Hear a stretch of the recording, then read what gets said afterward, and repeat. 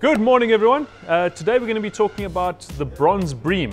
First of all, welcome to Kingfisher. Please consider liking and subscribing the video. If you don't like it, please let us know why. And uh, put down in the comment section what you want us to see, what you want to see next in these videos. And if we've missed anything or done something that you enjoy, please let us know. So guys, let's get to it, the bronze bream. Okay, the bronze bream, scientific name is Pachymetopon grandi. Now, Pachymetopon obviously referring to that little bulge that it has on the head. Um, and Grandi obviously refers to big, and it is the biggest of its genus. That's why it's called Pachymetopon grandi. Some of the other names, Afrikaans pensenderms, uh, they're also known as uh, copper bream by, by some people, and also known as a bluefish down more in the Eastern Cape.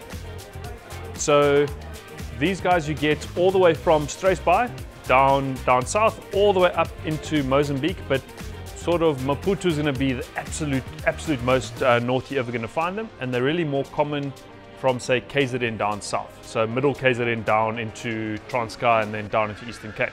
In terms of what it looks like, now the bronze bream has got, it's a plumpish fish, quite a large, obviously the Afrikaans pensenderms, uh, guts and stomach, if you want to translate it directly, refers to it's got, being a vegetarian, it needs a much longer gut to digest the food because plants actually, they plants have evolved to be very, very tough and difficult to digest. They've got um, hard uh, chitinous layers and all sorts on the outside, so it makes it, and a lot of fibers in them that makes it very difficult to, to actually get the nutrients out of the plant. So the bronze bream needs a much longer gut to be able to actually digest or get enough material out of the, the plants that it eats.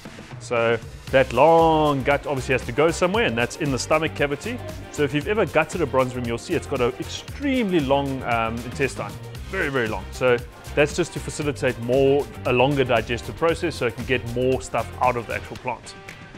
Now, being a herbivore, they've got uh, grazing incisors on, the, on their jaws themselves. They're actually quite sharp uh, they do sometimes bite you off. It's why we generally use either a doubled section of line above the hook or use something like a fluorocarbon or a Maxima that's a little bit harder than your standard nylons. Now, otherwise they've got fairly small eyes for their body size, uh, a smallish mouth, and um, the overall sort of browny color, but they go silver after they've, uh, after they've died or if they over sand a lot.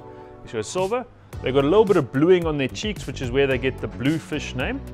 And um, that's, yeah, that down in Eastern Cape, they've got a, more of that than it is up here. Yeah, it's generally a more coppery color, obviously where you get copper bream, um, all the way to like a browny sort of color to them.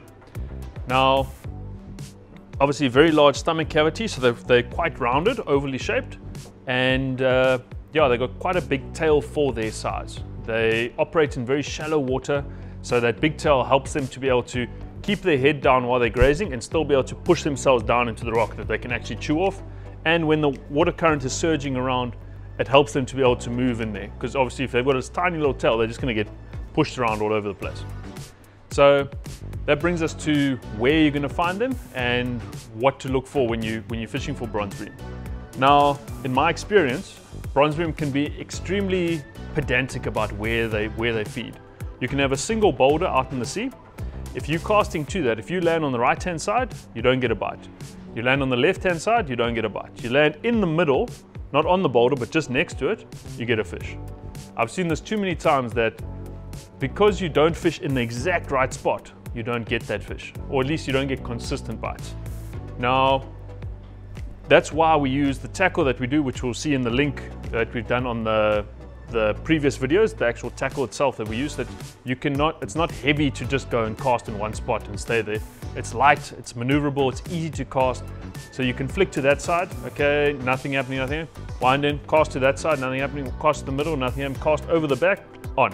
So you, it's all about experimentation, it's actually choosing the spots and flick, fishing very accurately to them. So, surf zone, number one, uh, rock Generally, you need rock. You do catch them over sand by themselves, but it's very, normally around rock. And then places that have got a lot of seaweed. So because they feed on that seaweed, you're gonna wanna fish in the seaweed, obviously. Now, bait for them, there are a whole lot of different baits, but pink and red prawn and crayfish are your three top baits that you're gonna use for them. We've caught them on sardine, We've caught them on uh, stuff like red bait, oki tentacles, chokka, it's all, all sorts, but prawn and crustaceans of sort are your best, best bet. So, simple traces that we've got made up, Ray's done those. Nice chunky piece of prawn. The guys too often say you must use this thin little strip of prawn, nice delicate little presentation. Bronze Bream doesn't want that. If you get that subtle bite with that, if you put two prawns together on one hook, make a nice chunky meaty bait, he floors you normally, normally. And that's the biggest tip that I can give you guys is accuracy in your fishing and bigger baits. So two prawns on a hook instead of just one. Make it a nice chunky bait. When to catch them, it's winter at the moment now, it's coming into bronze bream season. They spawning in January through to June, so earlier part of the year, so we're getting to the end of that now. Um, but it's still, it's still very easy to target them now and you're fishing in amongst the rocks. That's really, really all you need to know about that. Uh, in terms of sizing, you allow two per person per day and they have to be a minimum of 30 centimeters. So that's to the total length to the end of the tail. Other than that, they are very resident, so they don't move a lot. It's not a migratory species. They're going to stay in their home sort of waters. So it is a fish that's very sensitive to over, over exploitation. It's not something that you want to go target heavily and fish one spot and remove all the fish out of because it's not going to get replaced. Um, that being said, they are endemic as well, so you only find them in, uh, in our waters. You don't find them anywhere else in the world. So we need to look after them, they're our stock, so it's our job to actually protect these species. And being resident, they then obviously do well in marine protected areas. If you're protecting the zone that it's living in, they're going to flourish and overflow into the areas around them, so you get spillover happening. Uh, maximum size is 65 centimeters. They get to over five kilos. I think about five and a half is the biggest I've ever heard of. And that fish at, at 65 is going to be about 30 to 40 years old, about 35, say 35, 38 years old. So very, very slow growing fish. Um, one of those that you obviously would rather consider targeting something like a shad that grows a lot quicker or even a garrick or something like that as opposed to going for a slow growing reef fish like a bronze bream. So yeah, guys, Pachymetopon grundy, it's a beautiful species that comes by a whole lot, well, goes by a whole lot of different names and yeah, just a very fun fish to catch, nice to target on the light tackle, and delicious eating if you ever do want to keep them. And if you do, consider keeping less, not more. Thanks, guys. Cheers.